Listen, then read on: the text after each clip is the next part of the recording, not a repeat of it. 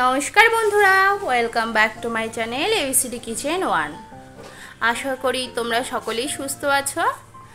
আজকে বাঙাল ডাটা দিয়ে আর কাঁঠালের বীজ দিয়ে মোড়লা মাছ করব। বাজার থেকে মাছ এনে মাছের মাথাগুলো ফেলে দিয়েছি। মাথাগুলো একটু তিতকুটে তিতকুটে লাগে, তাই মাথাগুলো বাদ দিয়ে ধুয়ে নিয়েছি। পেঁয়াজের সঙ্গে কাঁঠাল বীজ আর ডাটা কুচিগুলো কড়াইতে দিয়ে দিলাম, তেল ছাড়া। আর এর মধ্যে দিয়ে দেব স্বাদ মতো নুন, প্রয়োজন মতো হলুদ কালারের জন্য দিয়ে দেব অল্প পরিমাণে লঙ্কার গুঁড়ো।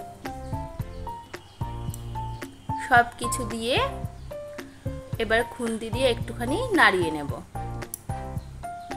হলুদ, নুন আর লঙ্কার গুঁড়ো পুরো সবজিতে মিশিয়ে দেবো। মাছগুলো ভাজা করব না, কাঁচা কাঁচাই রান্না করব।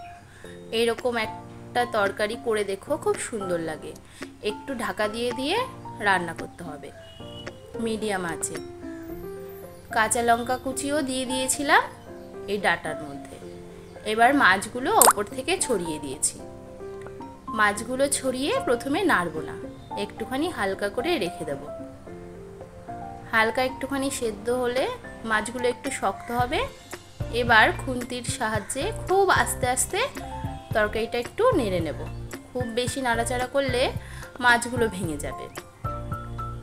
এবার দিয়ে দিচ্ছি একটু পরিমাণে জল।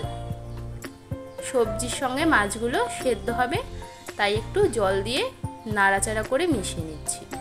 খুব বেশি পরিমাণে জল দিলে তরকারিটা ঝোল ঝোল হবে। তাই অল্প জল দিয়ে নিয়েছি। তরকারিটা নামিয়ে নিয়েছি, এবার কড়াইতে দিয়ে দিচ্ছি সর্ষের তেল। সর্ষের তেল দিয়ে তেলটা একটু গরম করে নেব। এর মধ্যে এবার দিয়ে দেব একটা পেঁয়াজ কুচি।